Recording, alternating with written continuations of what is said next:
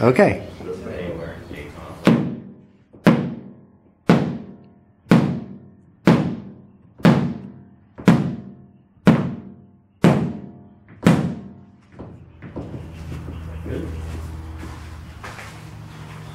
We make little samples on the OSB and we tell people hit it with a hammer and you can whack it. Yeah.